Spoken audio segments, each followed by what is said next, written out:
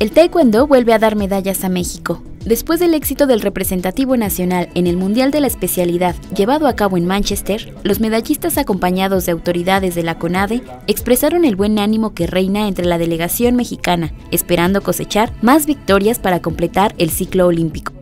Pues nos dan esa motivación de seguir viendo hacia adelante, de que queremos construir juntos lo que queremos lograr para los procesos inmediatos, que la federación junto con nosotros hagamos el mejor plan, el, mejor trayecto donde les ayude a, a, culminar en lo que deseamos, que son los Juegos Olímpicos.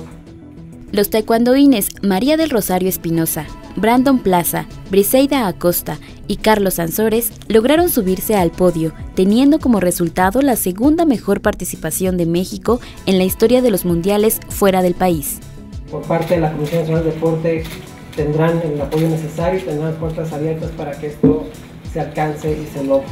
Enhorabuena y a nombre de todo el país, pues, felicitaciones a cada uno y a sus familias, a sus entrenadores, al cuerpo técnico, igual felicidades a cada uno de ustedes.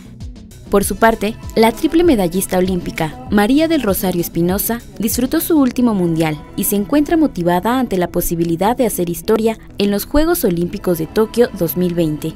Una competencia de mucho nivel pero como yo siempre lo he dicho, un año antes de Juegos Olímpicos, ese es el campeonato clave que nos abre muchas puertas.